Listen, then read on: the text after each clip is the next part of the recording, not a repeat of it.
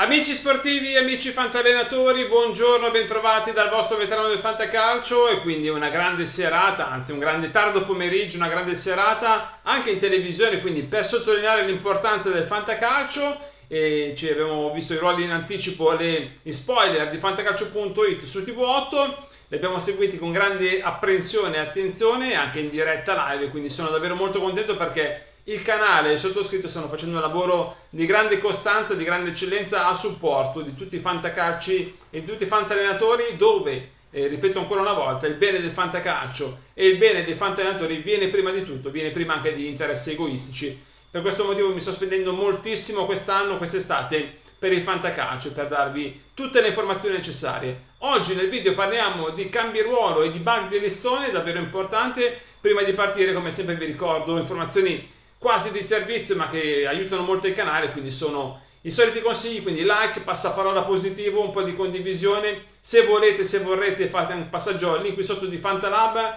devo dire per quanto mi riguarda link fondamentale per aprirvi la mente del fantacalcio e soprattutto fate un passaggio anche sull'area premium perché è davvero importante fare questo passaggio per voi e per tutto il movimento di Fantalab. Un grazie di cuore, parliamo prima dei cambi ruolo e poi dei bug di listone alcune novità erano un po' nell'aria, altre invece tanti mi hanno un po' preso in giro perché pensavano che appunto eh, non sarebbe andata a finire così, continuavano a insistere su Zaccagni, su Pulisic, centrocampisti, così è stato. Effettivamente mi sono anche abbastanza scontrato con alcuni fantallenatori, ma alla fine Pulisic è vero che nel passato è sempre stato considerato una attaccante, ma effettivamente nel ruolo del Milan e quindi nell'infrastruttura di gioco di Pioli e più centrocampista. Quindi secondo me giusto Pulisic centrocampista comincia a essere più appetibile in questo caso. E per quanto riguarda invece Zaccagni era al limite, l'hanno selezionato come centrocampista, devo dire un bel top, un bel super top di listone al fantacalcio, chiaramente in questo caso occhio solamente al prezzo. Tra i due, tra Felipe Anderson, che rimane chiaramente confermato centrocampista, e Zaccagni, continuo a puntare su Filippao perché mi dà garanzia di rendimento con, con Sarri, mentre Zaccagni intanto qualche piccolo periodo di voto ce l'ha, però chiaramente sono entrambi top di reparto. A mio avviso Felipe Anderson si paga un pelino meno di Zaccagni, per questo motivo vado a preferirlo.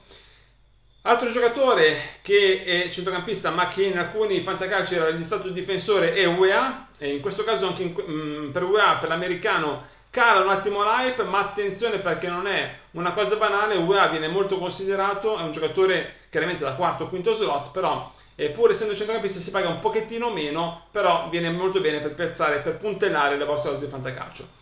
Per quanto riguarda poi Casa Milan, come detto, Pulisic, centrocampista, è un bel affare questo, occhio solamente alla tenuta fisica, a mio avviso un buon, un, un buon lavoro si può fare su nigeriano Ciuquezze, centrocampista, diventa l'alter ego di Leao che rimane attaccante, quindi anche in un'ipotetica spina dorsale rossonera con Magnan, con magari Tomori,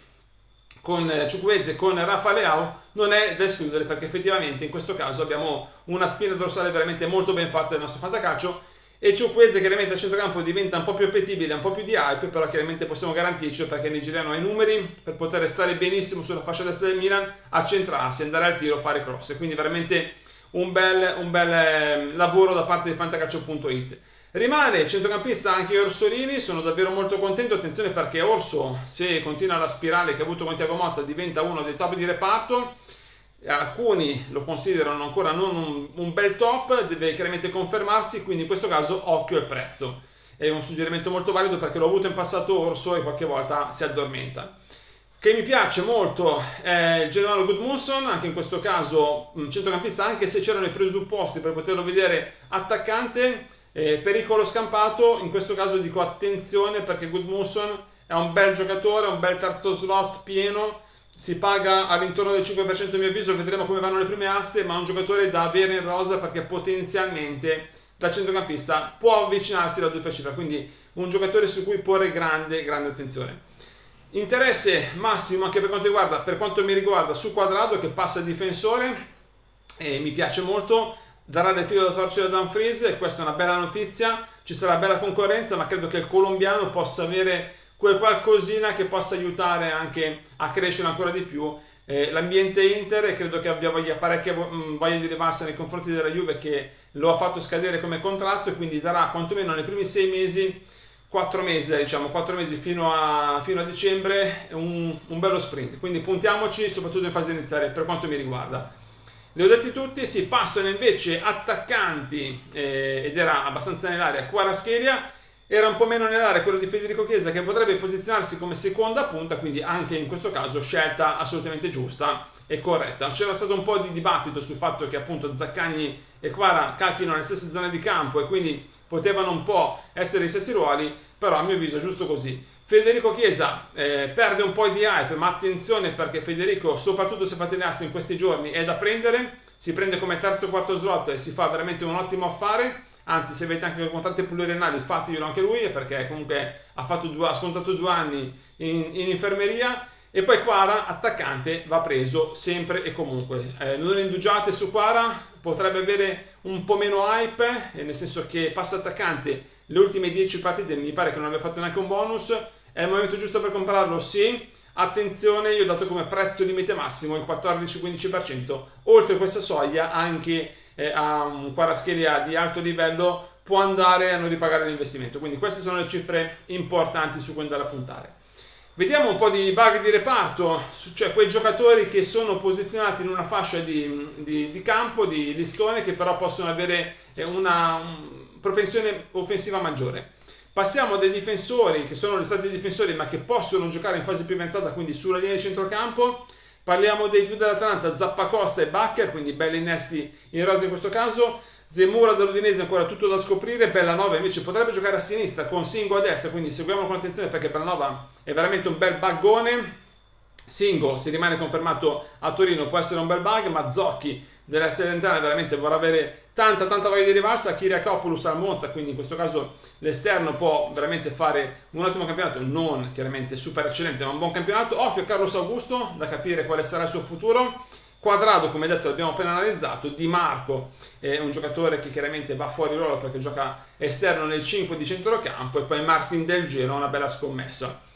Invece centrocampisti che possono giocare in fase più avanzata, abbiamo detto appunto di, no non abbiamo detto, di Radonic, attenzione chiaramente alla voce infortuni, Oristagno del Cagliari quando giocherà potrebbe giocare verso la fase avanzata, Mbula del Verona, un bel innesto, in questo caso l'istato centrocampista siamo davvero contenti, una bella scommessina un po' sotto traccia, è vero che sta facendo bene nelle amichevoli estive, però attenzione perché il prezzo deve essere commisurato effettivamente all'investimento previsto. Pulisic, come detto, un bel fuori ruolo. Politano, confermato centrocampista, quindi Garcia lo vede abbastanza, quindi si può puntare qualcosina. Strefezza da valutare con il nuovo mister. Ciuquezze abbiamo fatto una bella analisi poco fa, così come Felipe Anderson, così come Rossolini e così come Zaccagni. Percorso inverso, come detto, per Federico Chiesa e Quark che passa in attacco, ma attenzione perché anche caso del Frosinone passa in attacco da centrocampista. In questo caso potrebbe starci come quarto o quinto slot perché il talento c'è. Attenzione solamente al calciomercato perché caso potrebbe essere un giocatore che può essere interessabile anche da parte della Samp e Pirlo lo vuole alla sua corte. Prima di chiudere vi ricordo che la mia strategia è già caricata da diversi giorni e in questo caso devo dire che sono davvero contento perché è una strategia alla quale ho dedicato parecchio tempo, parecchie risorse, impegno, tutto ben fatto, scritto per filo per segno Spero che non mi sia sfuggito nulla, chiaramente questo caso fatemelo sapere, ma è stato un lavoro veramente da certosino, fatto molto bene per voi e veramente è importante in questo caso secondo me eh, fare un passaggio anche sull'area premium perché veramente ha un costo direi risibile, meno di un caffè al mese per 12 mesi, ma potrete scaricare non solo la mia strategia classico mantra, ma quelle di tutti gli esperti e quindi ha ancora più valore aggiunto questo, questo investimento. Vi ringrazio, vi auguro una buona giornata, buon fantacalcio a tutti per queste necessità sono a disposizione e viva il fantacalcio che è il gioco più bello del mondo dopo il calcio. Un abbraccio, ciao ragazzi!